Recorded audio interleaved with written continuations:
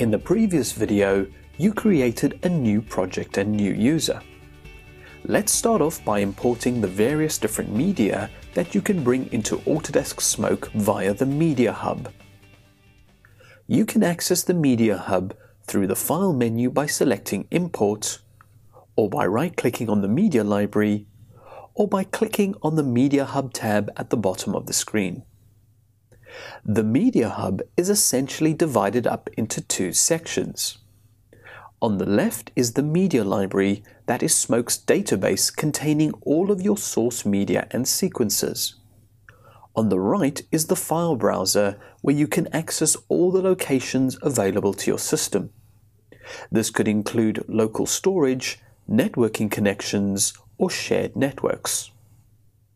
To locate media, simply double-click on a device to start navigating through the folders and the file path is displayed at the top of the file browser.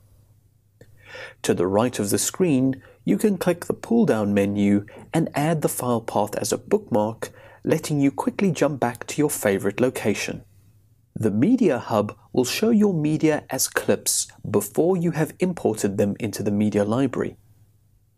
Supported streaming media formats as well as image sequences are displayed as singular clips. By clicking and dragging on the timecode, you can scrub the frames of a clip. You can also double-click on any clip to bring up the preview window, which contains playback controls as well as clip information and metadata. The Clip Info tab tells you about the generic details of the source, such as its resolution, format, and timecode. The Metadata tab gives you much more specific information relative to the format. For example, you would be able to see all the metadata from the footage shot with a RED or ARRI camera. If you need to adjust the metadata settings for any format, you would choose the Format Specific Options tab and you can adjust the various metadata settings for the selected clip. A final word on metadata set your settings prior to importing. Before you import any media, you have to decide if you will let Smoke manage your media. You can opt into importing the file in its native format and keeping it where it is, or have Smoke transcode the footage into the intermediate format that you selected when you set up your project. This transcoded footage is copied into the Smoke Managed Media folder that you selected when installing Smoke. Switch to the General tab and under Clip Options, you will see that Create Project Media is turned off.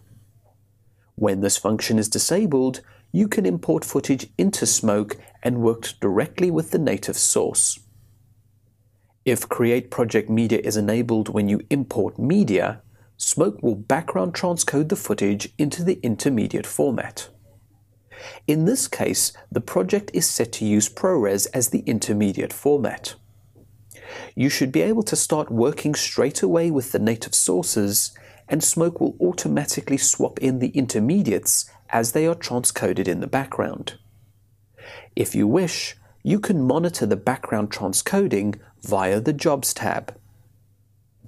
I'll turn off Create Project Media so that I will be able to work with the native sources.